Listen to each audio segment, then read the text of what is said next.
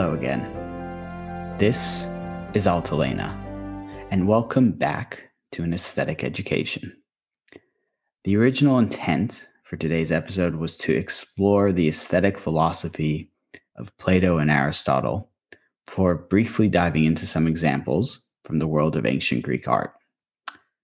What became clear very quickly was that to discuss these two philosophers with all their works, all their beliefs, and their influence on aesthetics to such an extent would require more time and consideration than I really had available this past week. So we will have to return to the world of the ancient Greeks at some later point. In the meantime, and in the spirit of this holiday season, where everyone needs to find a sense of humor somewhere, we will be exploring the comic world of satire through the work of the great British caricaturist Thomas Rowlandson. So, without further ado, let's get started with episode two The Virtue of a Sense of Humor 18th Century Satire and the Art of Thomas Rowlandson.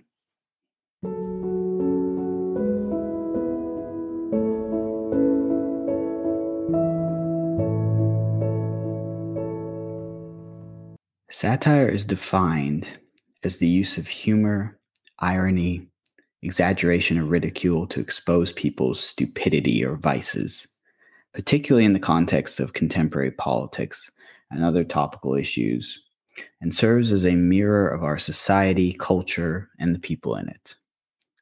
During the 18th and early 19th centuries, satire was widely used in literature and art.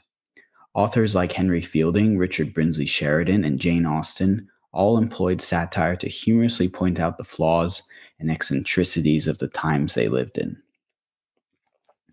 In 2015, the Queen's Gallery staged an exhibition entitled High Spirits The Comic Art of Thomas Rowlandson. The exhibition explored the humorous and satirical artwork of Thomas Rowlandson and other great 18th century caricaturists. Noted for his political satire and social observation, Rowlandson was a prolific artist and printmaker. He produced a large number of illustrations that appeared in contemporary novels, humorous books, and topographical works. Like many of his contemporaries, his caricatures were robust in body and left little to the imagination. A letter from His Royal Highness, the Duke of Edinburgh, appeared in the catalogue produced for the exhibition. In this letter, His Royal Highness pointed out that not all artists have the appropriate sense of humor to illustrate humor, and many humorists lack artistic talents to do so. But caricaturists are in a class of their own, and Thomas Rowlandson was a leader of that class. As far as caricaturists are concerned, His Royal Highness pointed out that there are two sides to that art form the caricaturist and the subject of his work. To be the subject of a caricaturist's work, one needed a sense of humor. To that extent, the Duke observed, that the subjects of Rowlandson's cartoons needed a pretty robust sense of humor. The exhibition provided many examples of how Rowlandson employed the full vocabulary of satire to comment on the events and characters in the world around him. Of the many illustrations that appeared in this exhibition, I have selected three to illustrate as wide a range as possible of the kind of satire employed by Rowlandson and his contemporaries to comment on the times in which they lived.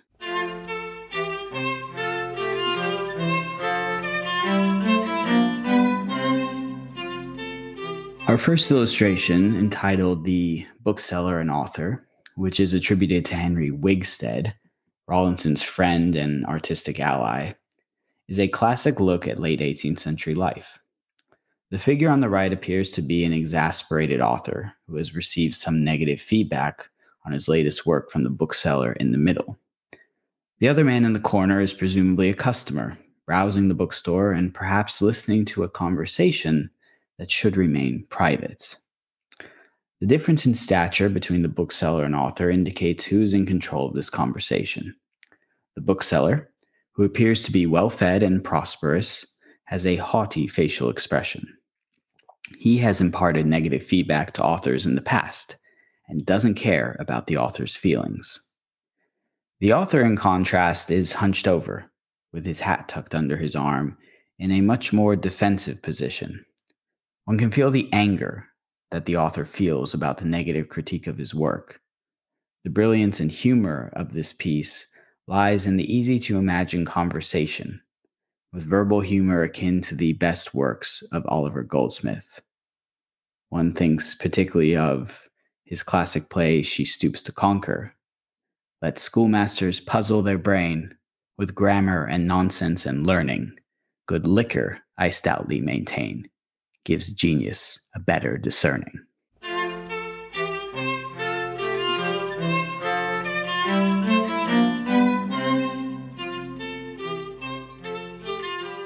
Our second illustration comes from the height of the Regency crisis of 1788, when there was much uncertainty about the suitability of the Prince of Wales, the future King George IV, as to whether he would make a good king.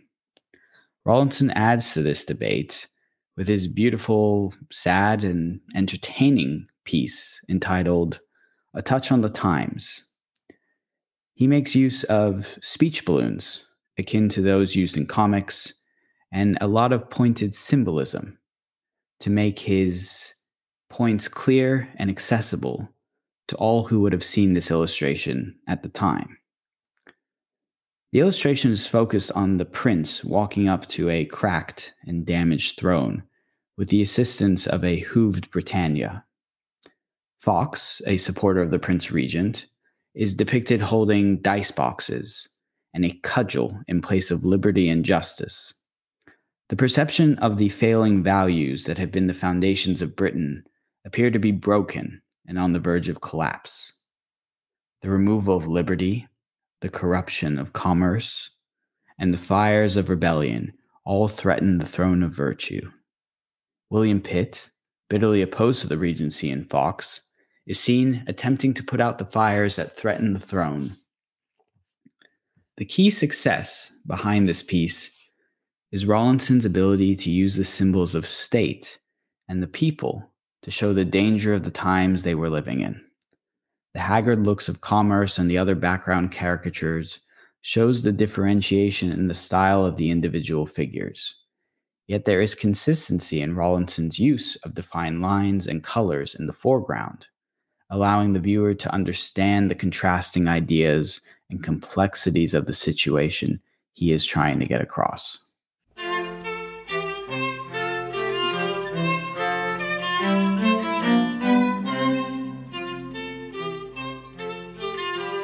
Our third and final illustration is perhaps Rowlandson's most famous.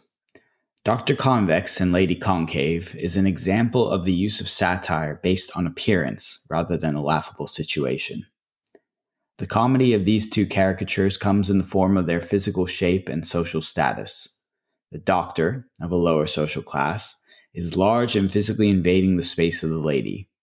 The lady is thin and wiry, and a representation of the more subtle beauty of the upper class. Yet, despite their differences, they are drawn together with their hands close to each other. This perceived intimacy, along with the entire shape of the rest of their bodies, may be Rowlandson's way to joke about a certain level of sexual intercourse between these two mismatched caricatures. The quote at the bottom of the print from the famous Elizabethan courtier Fulke Greville says, Man is the only creature endowed with the power of laughter. Is he not also the only one that deserves to be laughed at? This quote tells the viewer that it is appropriate for them to laugh at this illustration, for that is the power of satire, to give people a moment of humor amongst the many tribulations of life. High Spirits, the comic art of Thomas Rowlandson, was a triumph of an exhibition that showed the work of a man who captured the events and feelings of the time period in which he lived through character, humor, and most importantly, satire.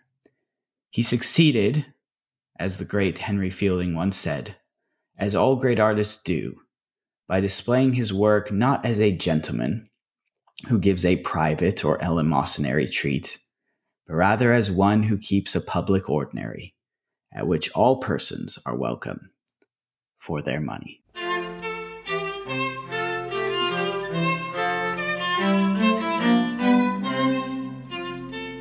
If you enjoyed this show, please give us a follow on your preferred podcast listening platform, as well as on Instagram or Facebook, where you can find us under altalena.art.